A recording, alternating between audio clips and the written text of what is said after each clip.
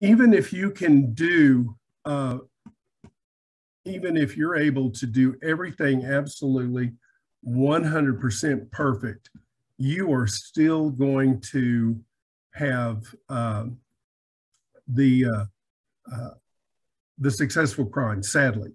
And illustration that even President Reagan, with full Secret Service um, protection, that's what happened. So with this, um, personal safety is just not about parking close to your destination, parking near lights, checking your back seat, walking with your keys in your hand. We all know that. What I want to give this presentation about is making a mindset of being aware. Uh, this uh, color code is a great uh, example of having a proper mindset. Condition white, unaware and unprepared, is really cool, where you're just not concerned about your safety or anything. When you're in your home, when the doors are locked, you're you're in for the evening, you can you can let your guard down all you want while you're in there you know, unless there's a knock at the door. Yellow alert is what we want to be in when we're walking, uh, when we're doing our Christmas shopping, when we're outside, we're moving around, we're going to work, we're coming home from work. We want to be just a yellow, relaxed alert. Orange is when you pick up something specific, when you see a, a threat that is potentially going to approach you. Uh, a good example of that, and this this happened to me. I drove to Walmart uh, one evening with my family. I got out of the car, I ran in, it was at night, I'm coming back out. I picked up a guy that's bearing down on me in the parking lot. So I was at a relaxed alert. I picked up a specific alert because it was kind of one of those deals. He's walking directly towards me, and I'm thinking to myself, is he meeting a friend behind me? Is he coming towards me? And then as he started approaching more, I realized his eyes were focused on me.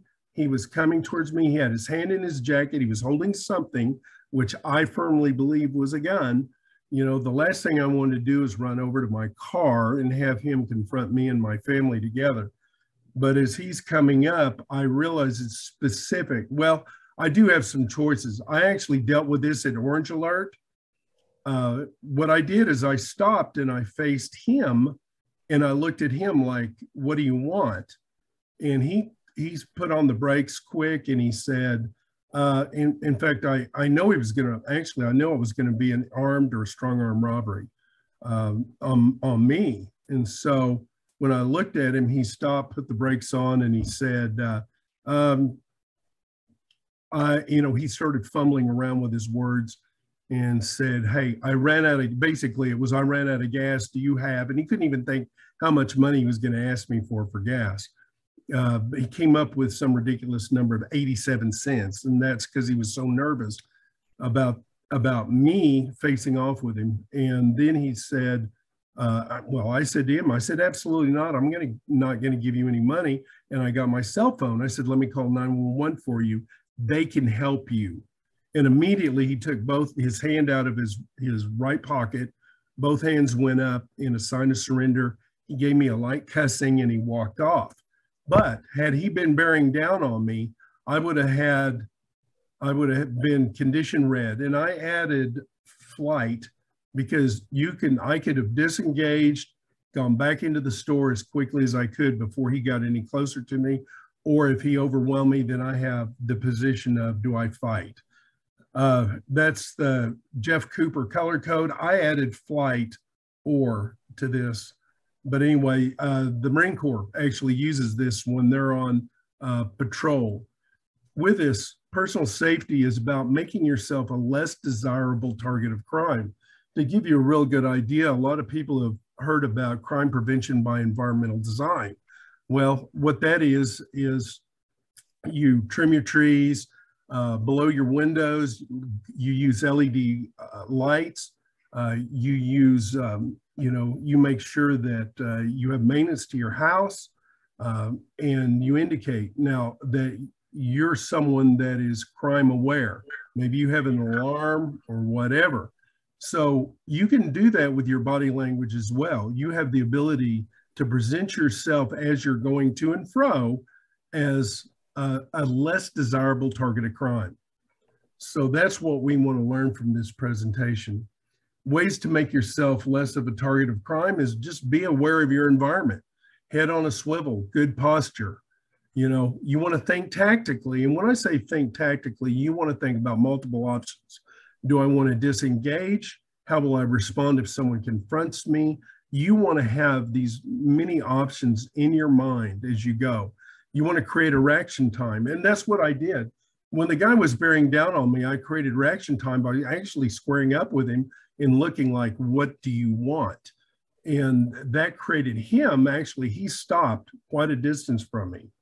Body language, like a police officer. I have to tell you, in, in all my time as an Oklahoma City police officer, I uh, what I did is uh, I've only I personally only know of two instances where our officers have been a target of crime off duty. Most often, officers, male, female, are not targeted as crime, and it has something to do with the way we present ourselves. So I want to share some typical body language that we use. And I've used. And the bad guy has been handled so many times by the police. And sometimes these are um, cues that he picks up. He doesn't even know it. He just knows that this person he's talked to is kind of a, uh, oh, there's a red line with this person and it's better to disengage. We want those things. Being aware of your surrounding, I want to show you this video. Uh, this is a video that you would think these this group of people uh, sitting in here in this restaurant are in this lady's purse. If you notice by the woman towards the end, sitting closest to the table where these two other ladies sat down, she's got a bag there. And how safe do you feel? You're there probably with your coworkers. You've got someone at the head of the table. You all are discussing uh, the day's events, and you're going to believe that your purse, your bag, whatever, is going to be safe in a public restaurant. Fortunately, there's this video camera that actually shows what's going on. Now, people that actually, you know, do thievery like this, they don't like to be held uh, with the stolen property. So she hands that up to her friend. Her friend gets the wallet that has the cash and the credit cards in it, probably dumps that uh, wallet over there. And then these ladies decide, we're going somewhere else. This is going to be a huge mystery to, did I leave my purse at, at work? Uh, did I bring it in? Is it in the car? Only to discover really that it was stolen right in the middle of a restaurant during a, what looks like a business lunch. So again, we want to be aware of our surroundings because many things go on beyond that. Are we someone that really recognizes danger? And I love this little picture, this little guy. Well, they kind of look like me. They've got four legs you know, and I'll just wander up and see uh, see what's going on. You know, the truth is we want to be aware of what looks like danger and we would like to avoid it. But if you're just, you know, a condition white, you're just kind of oblivious to all that. So we want to know that predators, they will stalk a location. It's really all about surveillance and counter surveillance when you're when you're talking about um, personal safety. Bad guys do, yeah, sometimes there's a target of opportunity, but most often uh, the thieves, whether it's a personal attack or a property attack, have really done their homework. So what you have here are, I don't know if you can see that vehicle, but in this um, vehicle down at the bottom, you know, you've got a guy with his binoculars. Would you notice that? In, in the middle screen, we have a guy that's approaching this uh, female and, you know, would she have noticed him? Now, this is a teenage girl. You know, would you have noticed the danger before he got that close to you? And would you run off? And then the, the next picture is a guy that's doing his surveillance. If people are staring at you, you know, with their eyes looking direct at, directly at you, or you might see them staring at other people. There's a reason for that. You know, they're gaining intelligence, they're assessing you, they're assessing the situation. Who are the people around? And this is what we really, and I'll just cut to the chase. You want to call 911 on all these incidents. Now, you know, you might, if you see someone parked out in the parking lot and they've got binoculars and they're watching the mall, they're watching people, they're watching one of your neighbors, they're watching your, um, you know, all these things. 911, what's your emergency? Well, you know, there's a guy out here in a van. You want to give the best description two tone vehicle. You, there's a man in there with a long sleeve denim uh, shirt on. Uh, he's got black hair, white male, and he's got binoculars and he's watching someone. Can you send an officer to check that out? That's how we cut down on these things. And again, uh, sadly, this middle picture is the girl is Carlie Brucia. She actually was abducted by this man and it was caught on uh, camera. But if you're driving by and you see what looks like a strange confrontation, you know, it, it doesn't hurt to call. It, it really doesn't for us to check the area. And then you've got to ask yourself again with this other guy, why is he bird dogging? Why is he over there staring at people as they go? And you look for that. Now, if someone's just normally watching the day, maybe doing a little people watching, that's fine. But when they're doing the bird dog, which I call that, uh, you know, it's okay to go ahead and ask us to check it out. They're gathering intelligence, they're stalking for a potential uh, victims, and they're seeing if they can go unnoticed. And if you notice these people, if they're looking at you and you stop and you eye lock with them briefly, they're going to write you off their list as a potential target because you saw them. They're looking for people that they completely go unnoticed. Their predator strengths, they know people will not call 911 with stalking a location or a target. We hear that all day. People call up to us and they, in their, you know, oh, we want to report, but we didn't want to call 911. 911 is the gatekeeper to our officers in enforcement, not the division or not detective division, you know, not the helicopter unit, not the canine unit we want all our calls to go through 911 eh, for, to be checked out. That is the most efficient thing that, that you can do to protect yourself and others. And they also know that typically the police are only call, called after they can do an attack or their crime. So they've got a safety window and they can disengage if they don't like what they see, but we'd like to check these people out. Uh, they follow a plan that they're used to and they can abort if they don't like the victim they've selected, just like the guy that was coming up to me.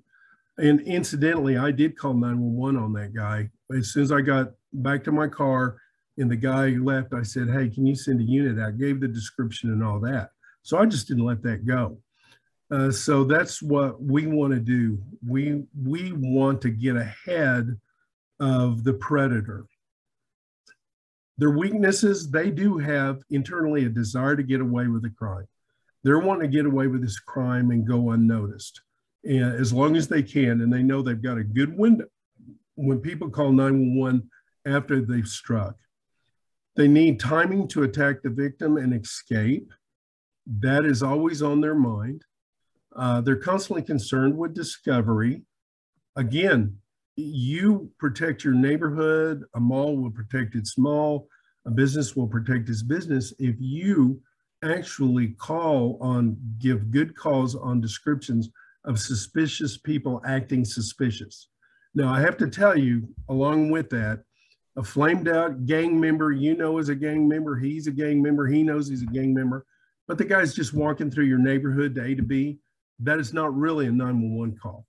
Because if you think that's the only danger to your neighborhood, what you're going to do is you're going to miss the burglar or the personal predator that is wearing a, a polo shirt and slacks.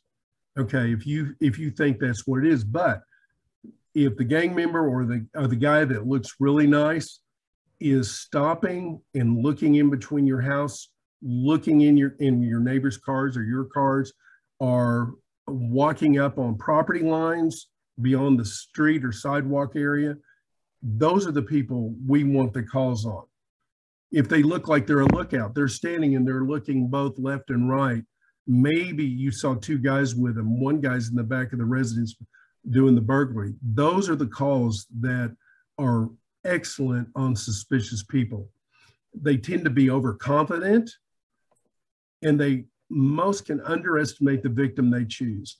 Now, I think I was I was chosen as a victim at Walmart because I'm older, you know, and so he saw me uh, coming out, looks like a pretty good victim. I'll, uh, you know, uh, I'll just get this guy. But what I did was completely unexpected when I turned on him, and um, and uh, you know he engaged me verbally.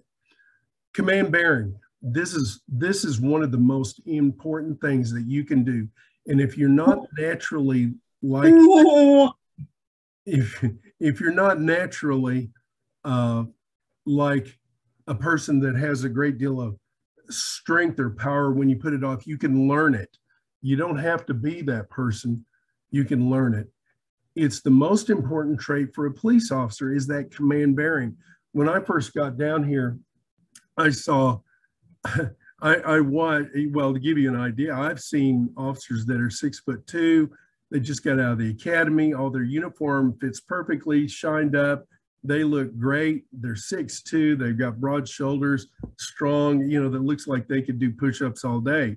And I've watched an old cranky bad guy actually make them their voices crack and stutter when they're brand new.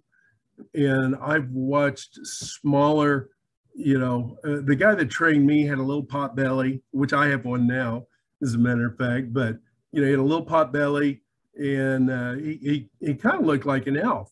But I got to tell you, he could turn on this strength and this power uh, that would that would make big, big hardened criminals take a step back. That's command bearing. It doesn't matter if you know you're you're big, short, small, whatever what you look like, male, female, it doesn't matter. If you have that strength and purpose, you know, in you, uh, it, it radiates. And that's what we want to learn. And I'll give you some examples and tools of that. If you don't have command, command bearing, you can learn how to get it or act like you have it. Everyone knows someone that has command bearing. Uh, and I have to tell you, really all you have to do, no matter what age you are, you think back to when you were in high school. Wasn't there that teacher, that counselor, that female that was maybe be, maybe in her 50s or 60s?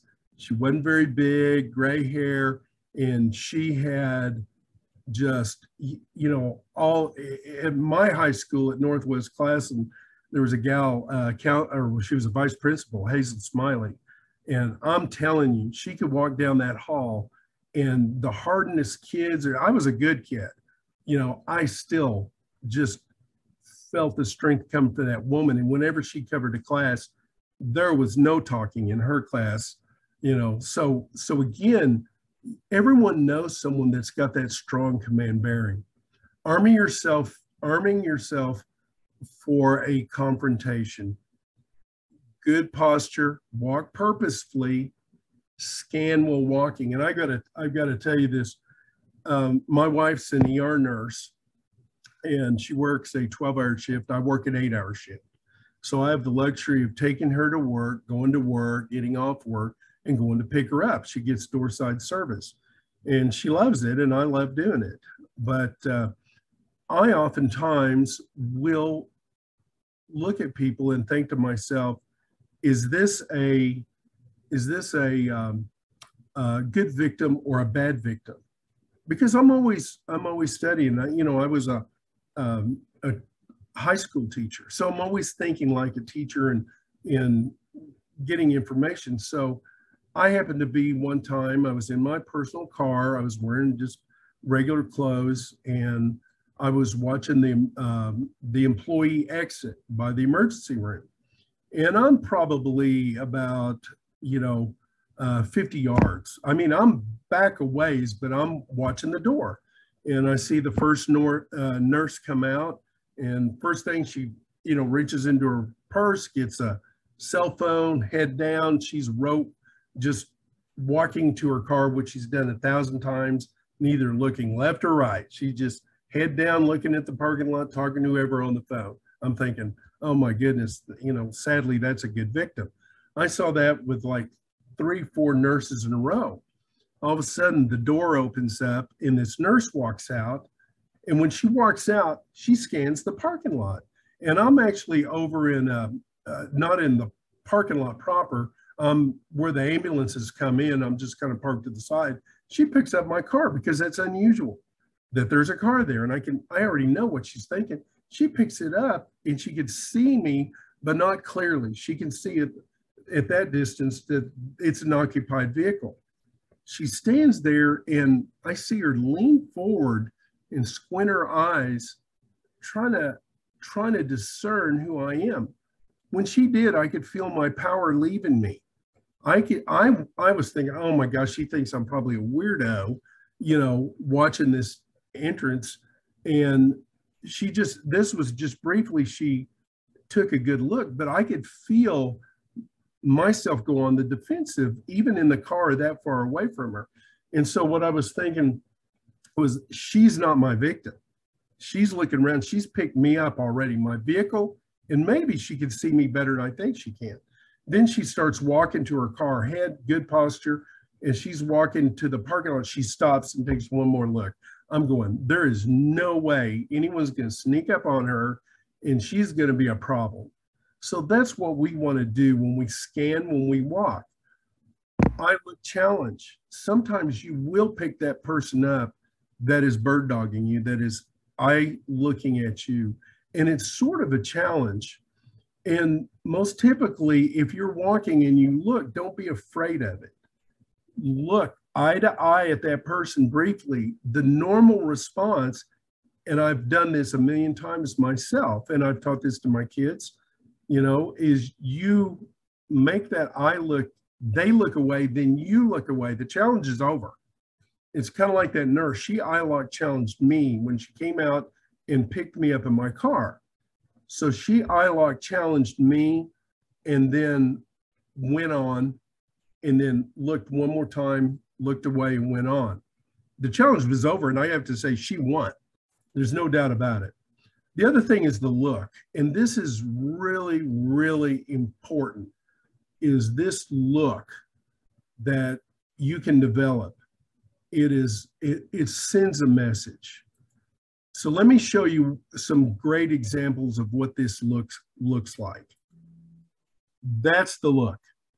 That is, that's the look. And that reminds me of the counselor I told you about, you know, in my high school you know, they're about the same age and actually resemble one another. It's not her, but that's the look. Here's another look. Here's a youthful person.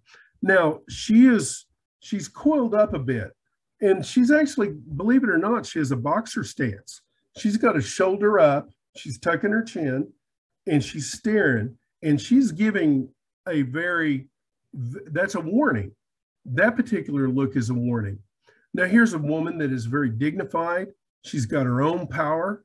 She's someone that is, um, you know, she is presenting that she's someone to deal with. Do not underestimate this woman at all. And then here's a young girl.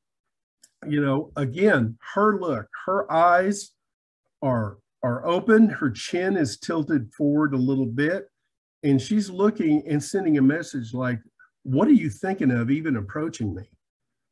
And this next this next one is actually a, a new one. She may, th this is actually my um, uh, oldest daughter. And I had a little fun with her. Uh, and I taught her all this when she was 14 years old. She was taking this, the things I'm teaching in this presentation to heart. But I had my camera at the ready and this was Thanksgiving. I had a little fun with her. You know, I yelled at her, kind of a challenge. I said, Lauren, don't mess up the whipped cream. And I mean, just that quick, she turned. Now, if you look at her face, you can see her mouth, and actually each one of their mouths are dipped down a little bit. She's staring right at me, like, have I lost my mind even saying that?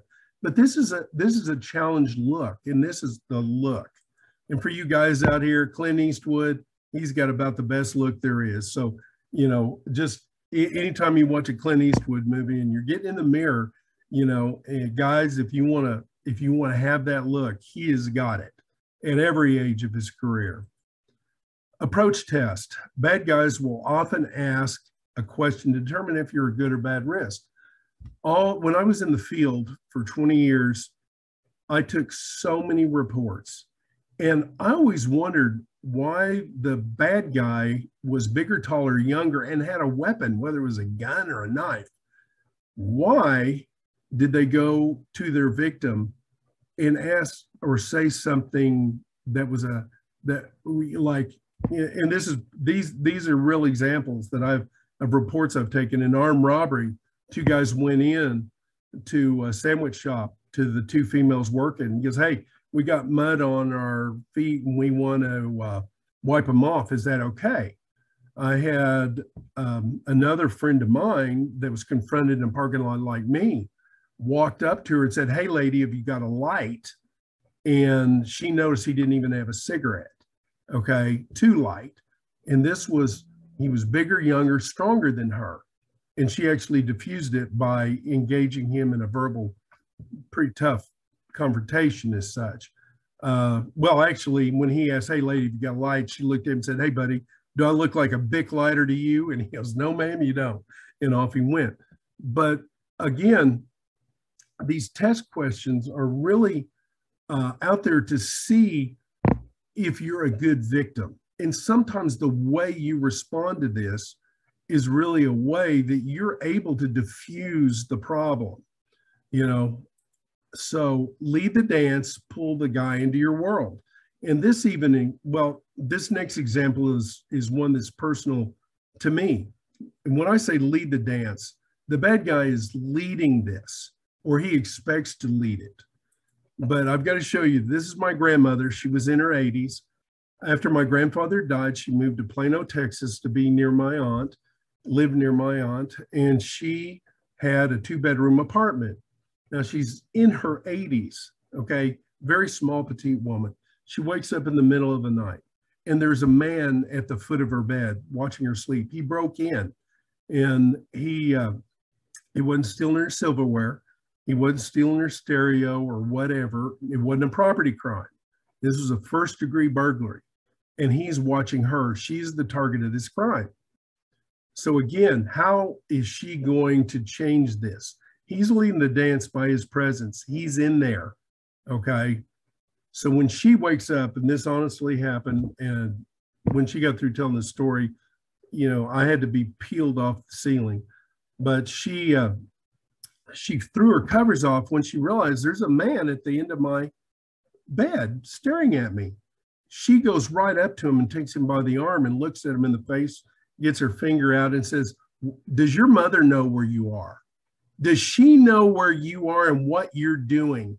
And immediately this guy goes on the defensive. He has, he didn't even know what to say.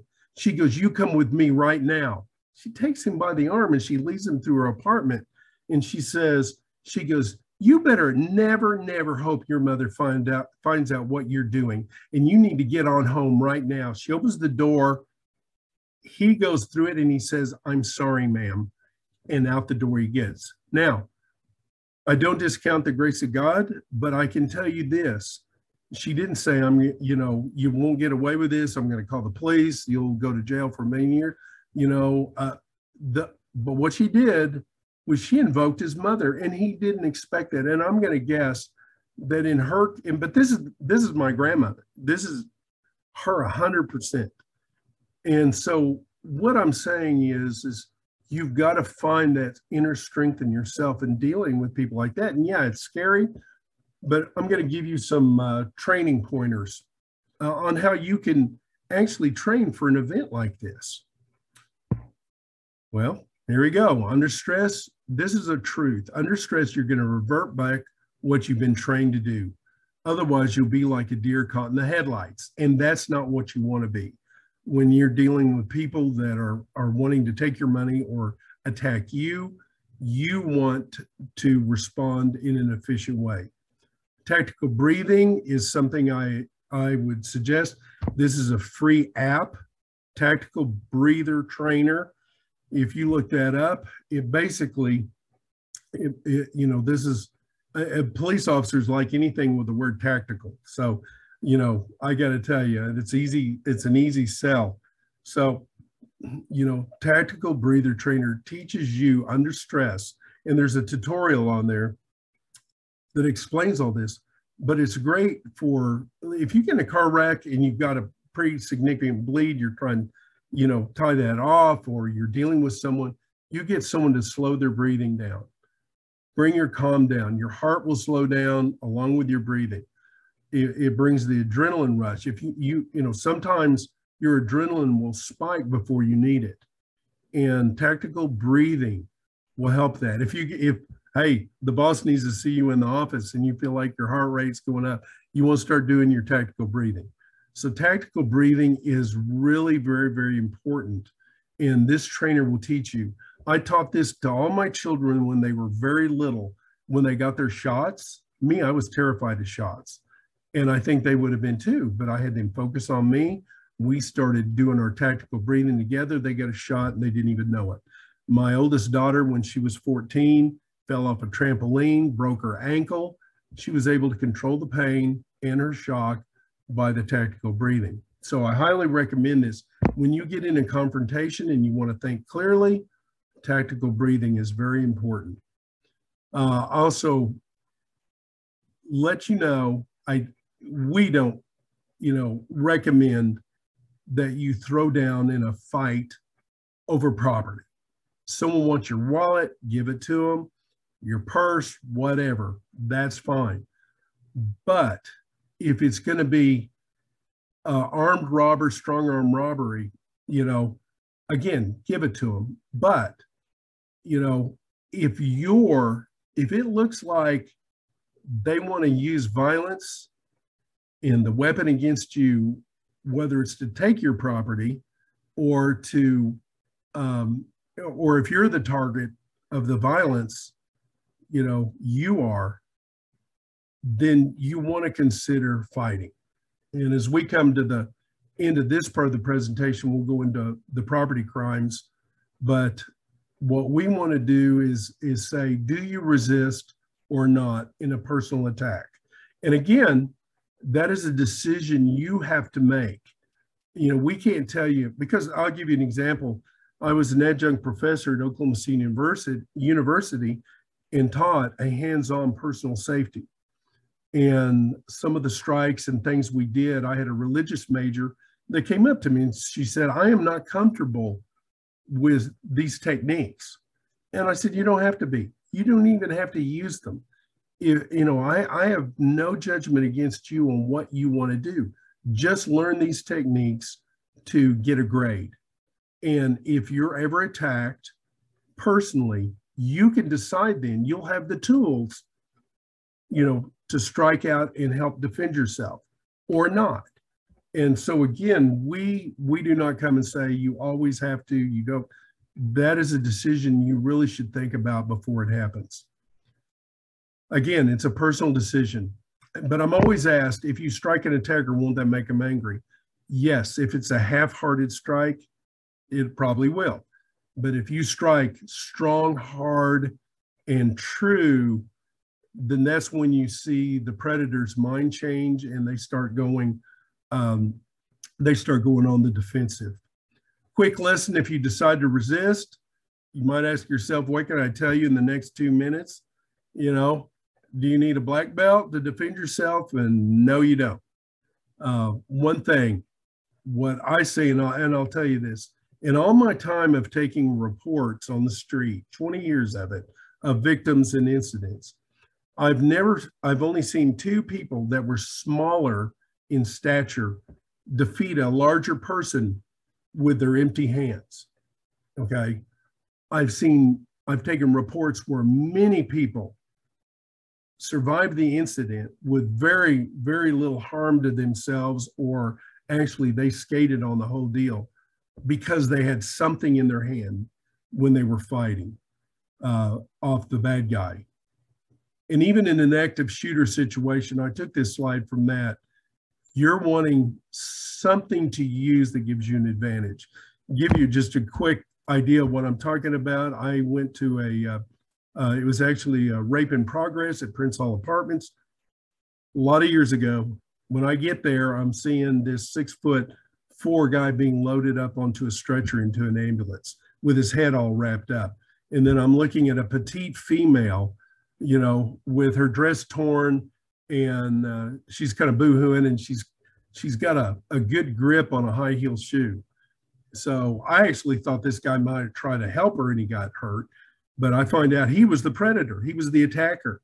And she, uh, as she's walking, he jumped out and he started all these cat, dirty cat call on this gal. She's just not wanting to look at this at all. It's scary. He just grabs her and throws her down. And next thing she knows, she's got her high heel shoe in the in the high heel part of it, nails him in the eye, side of the temple. He rolls over, she rolls on top of him and just keeps hammering him with his high heel shoe. Completely knocked him out, broke his jaw, you know, and uh, he uh, almost lost that eye. Point is, she was able to defend herself against a larger person with that high heel shoe. It's a it was a puncturing object. It was kind of a puncturing and also a um, a uh, heavy object, you know, as such. You know, an impact object is what we would call. So again, these are things that you can use efficiently. And if you notice on the ink pen, uh, that's probably my favorite. It's a puncturing object. And again, the bad guy never counts on seeing his own blood. So again, these are things that you you could actually strike with a non-lethal strike, but the bad guy feels it. At first, he'll be in a bit of shock, but then the confusion comes on. And a good example of that, and I love this age and ruthlessness will beat youth and agility. In this particular incident that I read about, an unidentified 58 year old woman. Now, this is a woman that's almost 60 years old. She's praying in uh, a Roman Catholic church in uh, Hudson Valley City. And uh, she actually, it was a 24 hour prayer vigil. She's in there late at night. No one else was in there with her during this. Eh, you know, people were coming and going and, and praying. So she kind of had this late shift as such. And this predator, when they saw the video in the in the video capture, uh, was put in this church because there'd been a great deal of theft. So that's why the video was in there. But what it caught was this predator he first came in, sat down. He's much bigger, much stronger, much younger than this woman. Again, he's almost 60. And he is, as disgusting as that is, he was going to attack her right in that pew, as, as, as horrible and disgusting as that is. He's shoving her over, trying to get on top of her. And guess what?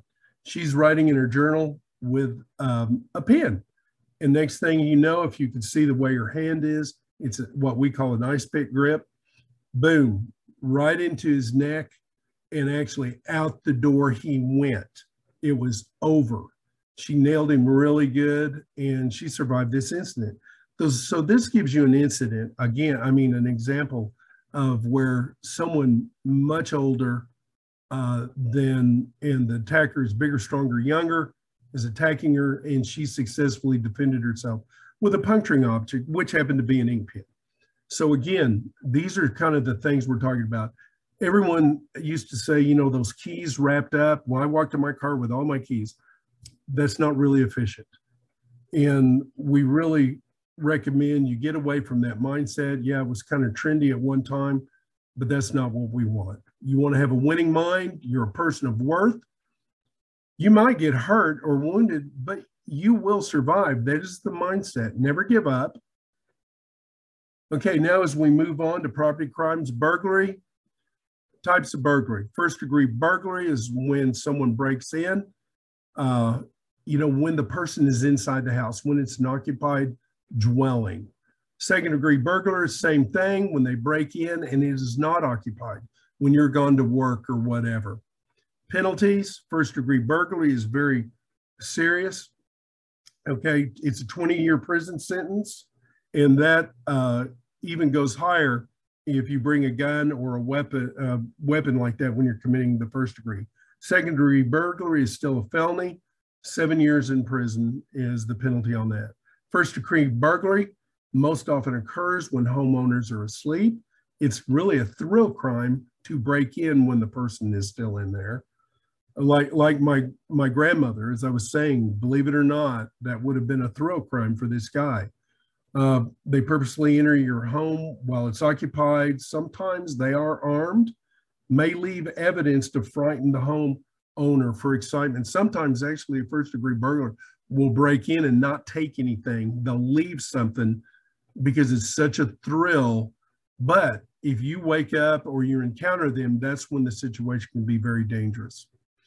Uh, you know, this type of burglary is very rare, but it's only important to let you know they do occur. Home invasion is still a first degree burglary. Typically, the home invasion uh, is, is a violent entry. It's an explosive entry where more than one person rushes in and assaults the residents, ties them up, takes their time, steals their property, uh, and a lot of times their car keys and their car. Most often occurs late evening or nighttime hours. Entry is commonly made by a knock at the door with only one person visible. Okay, when the person opens it, now I got to tell you, reading significant incidents, it's always the man. Most often, it's always the man in the middle of the night. And I've read this. Some guys much older than me, you know, hear the doorbell ring at two in the morning, and they go and open it up. Who's there? And they're they're rushed by these criminals. Uh, very, we have more incidents where women do not open up, look up, and say, "What do you want?" through the door, and that actually takes care of it. You know, they will report that to 911. You know, hey, there was some strange person knocking on my door in the middle of the night. So the the real key here is not to open that door in the middle of the night. That is number one. Um, second degree burglary usually occurs during the daytime. Occasionally happens uh, at nighttime if the homeowners are away from home or on vacation.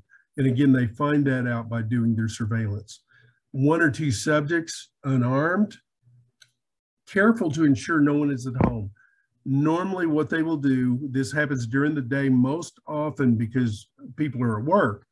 They'll knock on the door, and if no one answers, they go around. They go around to the back of the house, break out a window, or kick the door in. Now, it's important to know that some people, this turns into a first degree burglary because someone's at home sick, doesn't feel good, doesn't feel good. There's a knock at the front door. They don't want to deal with it. Bad guy thinks no one's at home. They go in the back door. The burglars and the homeowner confront each other. Both of them run away as fast as they can from each other. So I, again, these are property crimes, and they they really try to go out of their way not to invade the home when someone is there. And again, they'll make their exit through the front or side door. Secondary burglary, uh, most violated rooms in a secondary burglary or is the master bedroom or bedrooms, living room. Least violated rooms are kitchen, laundry room. I don't know how many of these reports I've taken when people, you get there and the house is absolutely a disaster and the kitchen laundry room have not been touched. So before I actually got a gun safe, if I went on vacation, I would put all my guns in the washer and dryer. And I pretty much knew that if someone burglarized my house, they would be safe there. Um, second degree burglary, again, most property taken is electronics, jewelry, money, guns, pillowcases, pillowcases because they load up stuff in the pillowcases. Uh, recently, my daughter, the one you saw the picture of, this is interesting. This is where she lives. My wife was actually watching uh, my grandson while she was all week at the school with with um, my granddaughter, older granddaughter. Uh, my wife every day would take him like clockwork at 9:30 to a local McDonald's to play. Well, after about three days of doing this in a row, she comes back home, this is an overhead view of the house, and this is the backyard for reference. When she comes back, she gets in, she finds the break-in.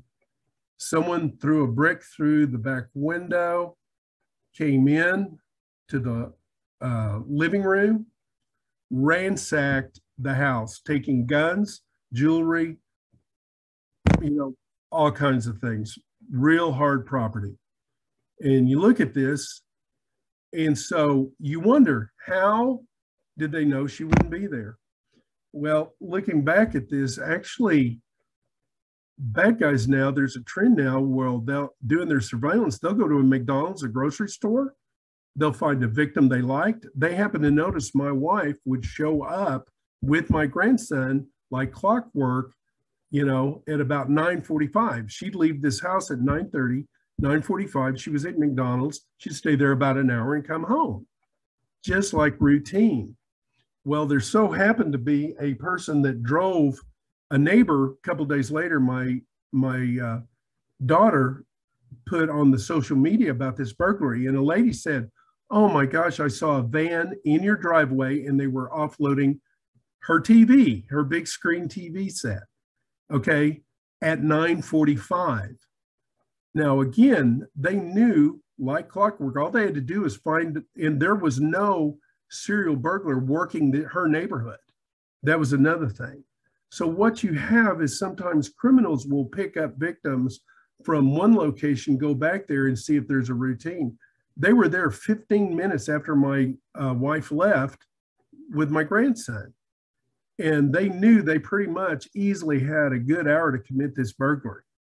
So again, we want to be aware, mindful of who's around us and what they're doing. Auto burglaries most often occur at night in a residence, daytime in parking lots or work or shopping centers, unlike vehicles or breaking into driver's passenger window if they see the property inside. Suspects tend to live close to the neighborhood, but there's a new trend. Burglars are now leaving and they are shopping in neighborhoods they want to hit, doing their surveillance. That's when we want to be aware and we want to lock our doors and not leave property in. These are this is some of the property that we've looked at from auto burglaries in unlocked cars, guns, electronics, wallets, cash money, purses, medication, cell phones. You wouldn't believe it. And sometimes car keys. We had one neighbor that was hit. The husband left his car keys in and left um, and on it, the key ring with his wife, and both cars were stolen. Items uh, bought from the store, like during Christmas, they are big time targets. As we come to the end of this presentation, how most burglars are caught, video, serial numbers is really wonderful at pawn shops when they try to fingerprints, pawn shop reports, uh, packages theft, they do surveillance on trucks, neighborhood target parts. They're people are driving your area looking at, and this is when we want to pick them up. The best time to call 911 on a porch pirate is during their surveillance. When they're following and stopping, you know, while a de delivery truck is in your neighborhood, when stopping and watching a house in your neighborhood, these are the times to call in to have us come and try to engage them. Uh, when a person commits this kind of theft is when it's in progress. You know, uh, they most always walk very calmly to the porch and we watch all the videos that are sent to us on these thefts. Security cameras help, but you know, they're not really deterrent because we have all these videos of these porch pirates theft. Communicating with 911 make sure you let the dispatcher know whether it's in progress or if if they are following the truck or looks like they're stalking uh, your neighborhood. Give location, description of suspects, um, and their vehicle. Prevention, plan to have your packages delivered to your work, neighborhood, or local businesses. I know FedEx will deliver it at your local Walgreens. You can go up there, sign for it, and get it ask you can ask that your delivery is signed for. Amazon Prime has a garage delivery uh, service where available, where they do background checks of the uh, they do background checks of the uh, uh delivers. They will have a one-time code that they check in with that will raise your garage door. They're only allowed three feet in there, and they will drop off your package, and the door will close. And again, you can get, it's a little expensive. It's around 80 bucks, but you can get a locked porch package drop box. Again, as I close this presentation, you contact your uh, Police Community Relations Officer, simply type in your search engine, OCPD PCR, break PCR. That brings up this link and you can click on it. And what it will bring up is our police communities webpage, which is which is great, is what we want to do. Okay, with that, are there any questions? Because we're right at about the golden hour, but we'll entertain a couple uh, questions. If someone needs to jump off, that's cool. But uh, just let us know. And if, Anna, is there any any questions as such? I do not see any questions. To say, kind of as I as I close out, uh, thank you again. Thank you again for coming here. I hope the presentation, uh, you know, met some needs. Also, it was recorded by Neighborhood Alliance, and they will post that. If you want to share that information with your friends or family and say, hey, check this out, it was useful, please um, look at it later. And I just want to thank everyone and hope you have a very safe uh, and Merry Christmas.